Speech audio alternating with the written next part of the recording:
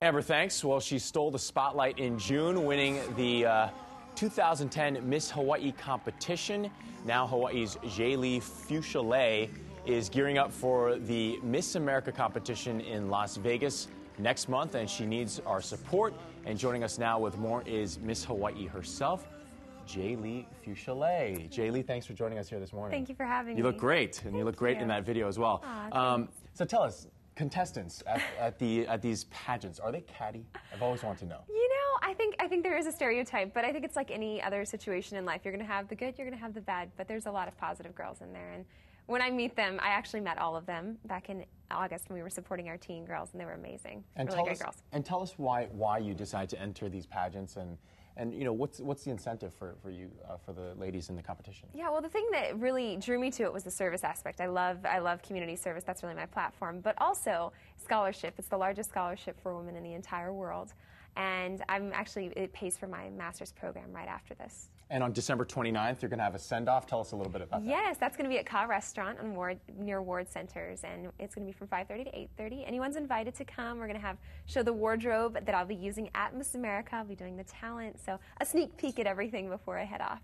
And and how can people here in Hawaii, people who are watching this interview, how can they help um, vote for you? I guess. Yes, a great way to help is actually voting on missamerica.org slash video contest.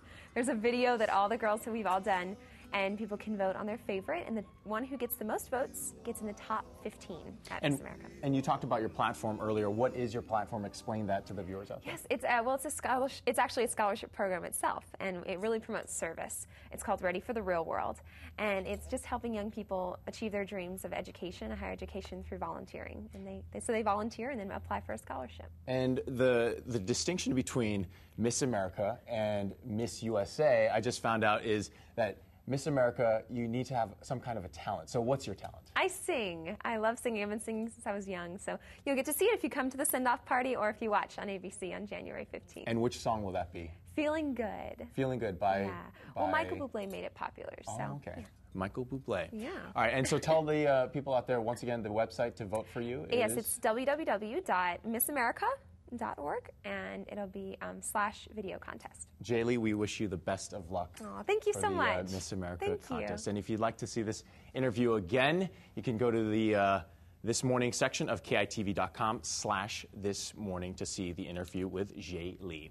Let's head over to the uh, KITV4 newsroom with Dan Meisenzahl to see what's coming up next. Uh, Dan, what are you working on for us? Well, first of all, I got to say, hey, good luck to uh, Jalee, a North Shore girl there. So hopefully she'll be doing Hawaii proud. She already has. So it's a great story right there. And of course, we've got much more on the.